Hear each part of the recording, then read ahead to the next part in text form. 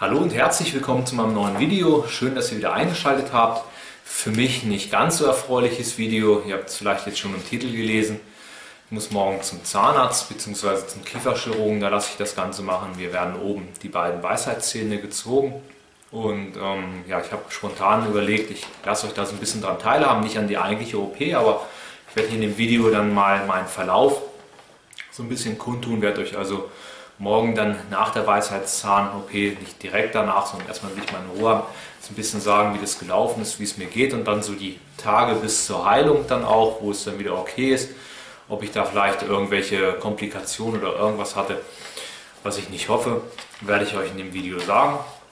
Und ähm, für mich ist es so, ich bin jetzt sehr aufgeregt, nervös. Ich gehe ungern zum Zahnarzt. Es gibt so zwei Dinge, die ich im Leben eigentlich überhaupt nicht gerne mache. Das eine ist zum Zahnarzt und das andere ist in Flugzeuge steigen. Trotzdem mache ich es immer wieder, weil es irgendwie mal sein muss oder auch dazugehört einfach. Da muss man sich immer überwinden, aber das sind so Tage davor, wo ich dann wirklich nervös bin. Auch heute Morgen auch schon wieder so 9.30 Uhr daran gedacht, so oh, noch jetzt 24 Stunden, dann liegst du da im Behandlungsstuhl und zack, nicht drauf geachtet und mit dem Auto hinten gegen so eine Eisenstange gegen gefahren. Jetzt habe ich noch einen schönen Kratzer am Auto. Was mir aber eigentlich fast auch irgendwie egal ist, ich will jetzt nur diese Weisheitszähne da raus haben, das hinter mir haben und dann halt hoffen, dass alles gut geht und dann einfach nur noch erleichtert sein. Aber aktuell ist es halt so, dass man doch, also ich mir viel Gedanken mache, mit den Nerven auch so ein bisschen, ich will nicht sagen fertig bin, aber schon, das belastet halt alles und ich möchte es hinter mir haben. Und ja, vielleicht geht es euch auch so oder den anderen, der sich das Video anguckt und vielleicht, wenn es bei mir nachher alles gut geht, ich weiß es ja jetzt noch nicht, kann ich euch so ein bisschen die Angst nehmen oder auch so meine Erfahrungen halt einfach mal weitergeben. Das möchte ich jedenfalls mit dem Video machen. Ich zeige euch jetzt hier auf dem Röntgenbild nochmal die äh, Ausgangslage. Hier könnt ihr das sehen. Die Weisheitszähne, die haben halt keinen Gegenbiss mehr, weil unten vor zehn Jahren die Weisheitszähne schon rauskamen. Das hatte ich unter einer Sedierung gemacht. Ich versuche es jetzt nur mit örtlicher Betäubung, also mit Spritzen. Ich muss auch mal gucken, ob das klappt. Eine Sedierung soll 100 Euro kosten, wäre es mir auch wert. Wenn es gar nicht geht, mache ich das auch. Aber mal schauen. Und äh, Problem ist, dass die Weisheitszähne, könnt sehen, halt keinen Gegenbiss haben, deshalb zu lang geworden sind. Und jetzt, wenn ich den Mund zumache oder auch meinen Kopf so nach vorne neige, hinten im Kiefer schon reindrücken, auch dadurch, dass ich schräg komme, wachsen sie hier so ein bisschen gegen und ich merke das und habe dementsprechend auch immer mal Schmerzen, auch Spannungsschmerzen im Oberkiefer. Ja, und aus dem Grund müssen die jetzt einfach raus. Und ich hoffe, dass ich das morgen alles ganz gut überstehe. Es sind jetzt ein paar Stunden noch hin bis morgen. Und ja, ich melde mich dann halt einfach morgen irgendwann und werde euch dann so Tag für Tag irgendwo berichten, wie es mir geht, worauf ich geachtet habe und was gut und nicht so gut gelaufen ist. Also ich weiß selber noch nicht genau, wie das Video aussieht, aber ihr werdet es dann halt einfach sehen und ich mache jetzt hier an der Stelle erstmal Schluss und melde mich dann hoffentlich morgen nach der, nach der OP wieder. So, die Zähne sind jetzt draußen. Das Ganze ist jetzt sieben Stunden her und man hört es, glaube ich, auch. Ich kann auch gar nicht so richtig reden und auch das noch nicht so richtig bewegen. Die Betäubung hat jetzt nachgelassen und jetzt merke ich auch so ein bisschen die Schmerzen. Ich nehme hier Ibuprofen 400er sind das und kühle das Ganze auch mit meinem Kühlpacket hier. Das hilft ganz gut. Das habe ich vorhin auch gemacht, als ich nach Hause gekommen bin. Erstmal gekühlt, gleich eine Schmerztablette sofort, als ich zu Hause war, genommen und habe mich dann ähm, für vier Stunden ins, ins Bett gelegt. Ja, jetzt habe ich gerade nochmal eine Tablette genommen. Das sehen, sind schon zwei draußen. Hier habe ich auch noch so einen Merkzettel mitgekriegt, aber da erzähle ich euch einfach morgen mehr drüber. Ich möchte das heute so kurz wie möglich halten. Also ich habe jetzt schon Schmerzen. Mir tun auch oben die Zähne extrem weh. Der ganze Kiefer- Mundbereich schmerzt auch. Aber es ist aushaltbar erträglich. Und ähm, ja, ich denke, das war's für heute. Morgen erzähle ich euch ein bisschen mehr, wenn es allgemein ein bisschen besser geht. Und ja, mal gucken, was der morgige Tag so bringt. Ja, heute ist Tag 2 nach der ähm, Weisheitszahn-OP. Ich habe ja oben beide Weisheitszähne entfernt bekommen. Heute klappt das alles schon ein bisschen besser. Ich habe zwar das Gefühl, dass es ziemlich geschwollen ist. Mir tun auch die Zähne oben weh. Also ich habe auch Schmerzen hier im Oberkieferbereich, Wangenknochen, die so ein bisschen hochziehen übers Ohr. Dadurch bedingt auch so ein bisschen Kopfschmerzen. Ist jetzt auch noch früh am Morgen. Ich habe irgendwie auch nicht mehr schlafen können, habe auch die Nacht nicht wirklich gut geschlafen, obwohl ich auch Schmerztabletten genommen habe. Ich nehme habe jetzt heute Morgen auch noch eine genommen. Aber alles in allem ist es schon irgendwo noch erträglich, also es ist aushaltbar. Ich will also da jetzt niemanden Angst machen oder so, so schlimm ist es nicht. Und ähm, auch die Weisheitszahn-OP an sich war jetzt auch nicht ganz so schlimm, wie ich dachte. Ähm, ich habe das unter örtlicher Betäubung machen lassen. Ich hatte mir noch die Option offen gehalten, so eine Sedierung auch zu machen. Das muss man allerdings selber bezahlen, kostet um die 100 Euro. Der Zahnarzt meinte aber, das brauche ich nicht, beziehungsweise es war ein Kieferchirurg. Ich bin nicht zum normalen Zahnarzt hingegangen. Und die OP lief dann eigentlich wie folgt ab. Ich hatte hier in einem äußeren Bereich eine Spritze bekommen in den Kiefer und im inneren Bereich auf beiden Seiten. Das hatte dann gute zwei Minuten eingewirkt pro Seite. Und ähm, dann hat er mit der ja, Zahnarztzange beide Zähne entfernt. Der linke ging recht schnell und leicht raus. Bei dem rechten musste er etwas mehr arbeiten, aber das hat an sich auch ganz gut geklappt. Ich glaube, nach insgesamt 10, 12 Minuten war ich aus dem Behandlungszimmer auch wieder draußen. Mich auch kurz hingesetzt, 5 Minuten, bis der Kreislauf wieder so ein bisschen okay kommt. Und dann bin ich auch nach Hause gegangen. Also das war alles gar nicht so schlimm, wie ich dachte. Ich habe ja vorher richtig Angst gehabt davor, weil ich ohnehin nicht gerne zum Zahnarzt gehe, aber es muss halt sein. Und ja, jetzt hoffe ich, dass das alles noch ein bisschen besser wird. Es fühlt sich immer noch sehr dick angeschwollen an, obwohl man es glaube ich gar nicht so sieht. Es ist auch nichts grün und blau geworden hier, aber da bin ich ohnehin nicht so der Typ für, dass ich irgendwie Blutergüsse kriege. Das war noch nie so. Ja, und jetzt warte ich einfach mal ab, was die Tage so bringen. Ich wurde vom Zahnarzt selber zwei Tage krank geschrieben. Heute ist der zweite Tag, also ist dann ja, schließlich der Tag mit der OP und halt heute. Und dann will ich mal gucken, wie morgen der Tag sonst aussieht, ob ich da wieder arbeiten gehen kann oder sonst müsste ich gegebenenfalls da halt auch nochmal zum Arzt gehen. Ja, ich melde mich morgen wieder bei euch. Ja, heute sind es zwei Tage nach der OP und ähm, ich habe immer noch Schmerzen. Also meine Zähne tun auch weh. Ich kann nichts richtig Festes kauen, also ein Stück Fleisch oder so wäre gar nicht drin. Meistens esse ich Suppe oder Bananen. Ich denke, das würde ich euch auch empfehlen, wenn ihr irgendwie eine Weisheitszahn-OP habt oder allgemein was mit Zähnen. Dann ähm, holt euch irgendwelche Suppen, das kann man ganz gut essen, das funktioniert also wunderbar.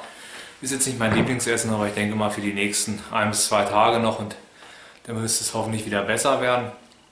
Ich war auch heute gerade noch beim Arzt. Ich war vom Zahnarzt zwei Tage krankgeschrieben und habe mir heute nochmal den dritten Tag geholt. Wir haben Freitag. Und ähm, ja, jetzt kann ich mich nochmal einen Tag jetzt ausruhen, deshalb auch noch die Jacke an. Ich bin gleich vom Arzt, wollte kurz auf Video festhalten, wie mein Verlauf ist und mich gleich nochmal ein bisschen hinlegen, weil es halt auch schon, also hier in dem Bereich schön Schmerz und auch ein bisschen hochzieht den Kopf, so leicht und das Auge. Und ähm, ja, ich wollte auch nochmal hier so ein Merkblatt zeigen, was ich bekommen habe. Es gibt immer oft auch so, ähm, dass man keine Milch essen soll, wenn man die Weisheitszähne rausgenommen hat. Ähm, das ist also Schwachsinn. Hier steht gegen Milchprodukte spricht nichts und ich habe es auch selber jetzt gemacht. Ich habe schon mal einen Eiweißshake äh, getrunken, halt auch einfach um so ein bisschen Sättigung reinzukriegen. Und das funktioniert. Was man nicht machen sollte, ist ähm, rauchen oder Alkohol trinken, aber das wäre auch das Letzte, worauf ich jetzt Lust hätte, ehrlich gesagt. Rauchen sowieso nicht und Alkohol sehr, sehr selten und schon gar nicht nach einer OP. Also der spricht für sich selber, sollte eigentlich jedem auch klar sein. Ähm, ja, ich erzähle euch morgen oder übermorgen, wenn es mir mal ein bisschen besser geht, so den Verlauf der OP und ähm, auch was bei mir danach so gemacht wurde oder was ich so gemacht habe, damit es alles etwas besser wird. Aber da habe ich heute noch nicht so eine Lust drauf. Das werde ich, denke ich, mal morgen oder übermorgen machen. Ich denke mal, dass es mir dann einfach besser geht von der Stute her. Und dann melde ich mich morgen wieder. Ja, heute haben wir Samstag, besser gesagt Samstagmittag jetzt schon. Ich war gerade eben einkaufen, habe mir jetzt schon mal so normale Lebensmittel gekauft. Also will jetzt auch mal wieder Brot essen. Ähm, eine Pizza habe ich mir auch gekauft, das probiere ich jetzt gleich mal aus. Weil ich so ein bisschen noch merke, dass es auch spannend und da wo die Zähne halt drin waren, wenn ich da ein bisschen mit der Zunge drüber gehe, merke ich halt auch noch den Wundschmerz. Aber allgemein so die Schmerzen an den Backen und was so hochzieht in den Kopf ist also erheblich weniger geworden.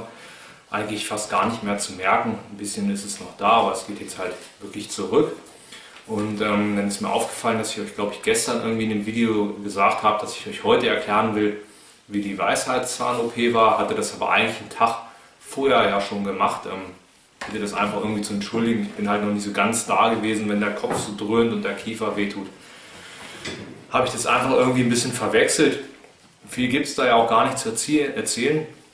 Glaube, ich hatte euch auch nicht gesagt, ähm, es wurde nicht zugenäht. Manchmal wird das ja auch vernäht, wenn irgendwo die Weisheitszähne so, wenn er aufgeschnitten werden muss und die müssen so rausgegraben werden oder wie man das nennt.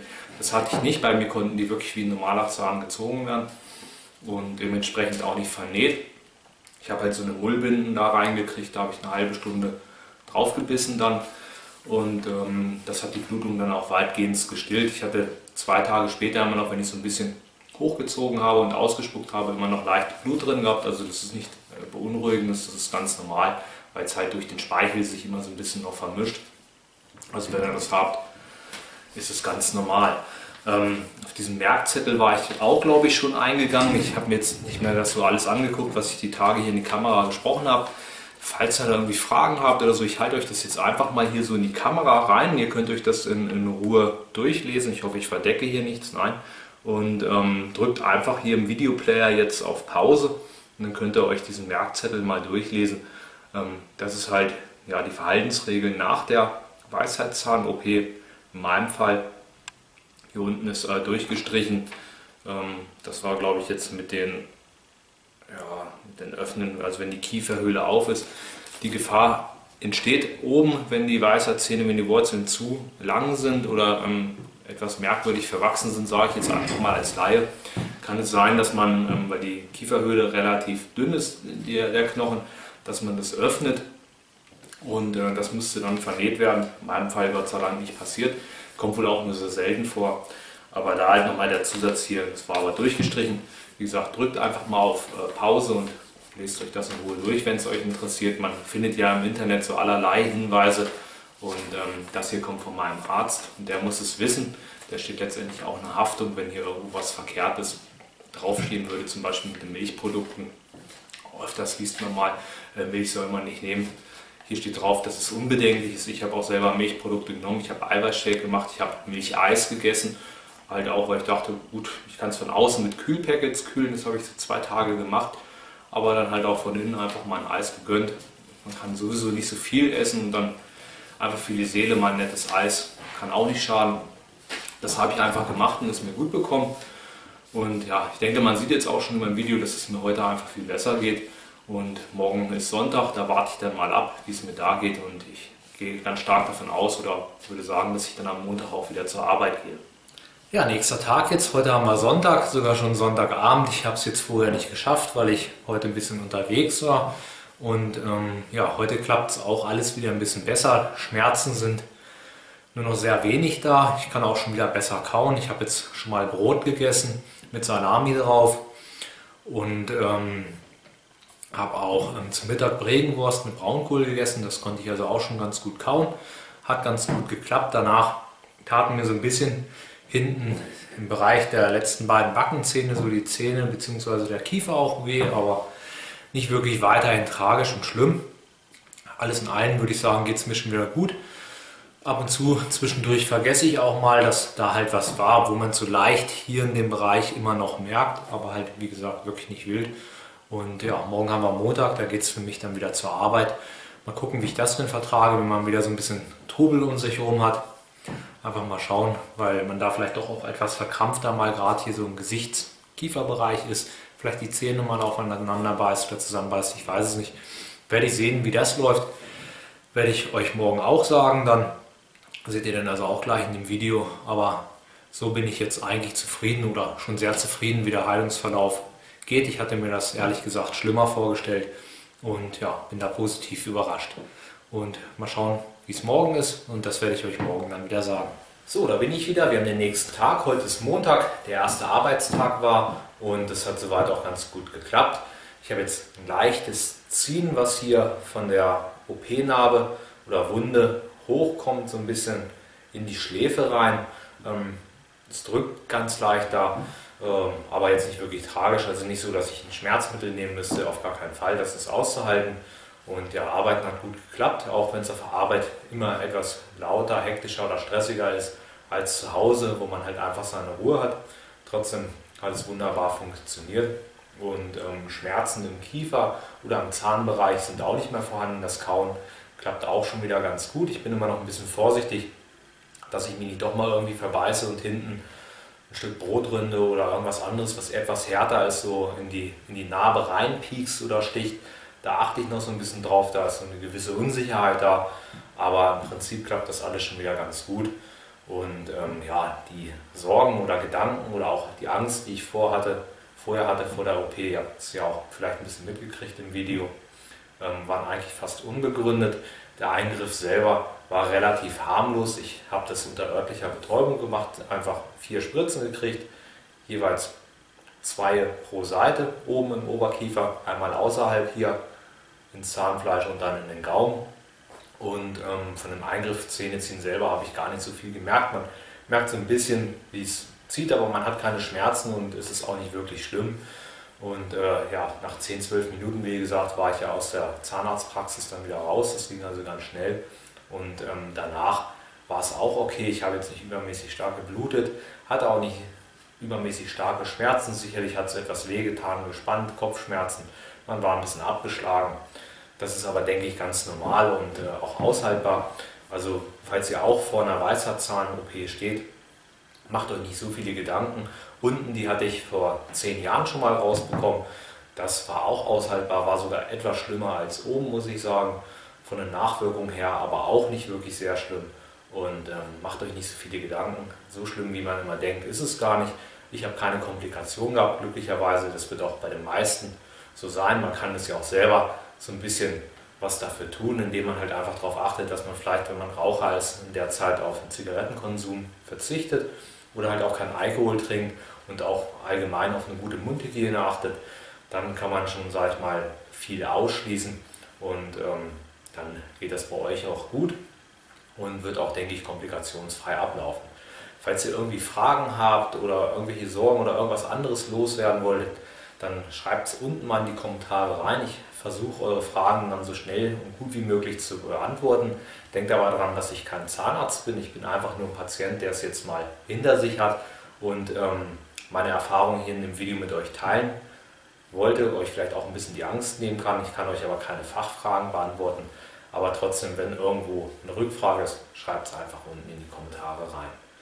Ja, ansonsten hoffe ich, dass euch dieses Video hier gefallen hat. Wenn ja, zeigt es mir mit einem Daumen nach oben, abonniert auch gerne meinen Kanal und dann sehen wir uns im nächsten Video wieder. Bis dahin.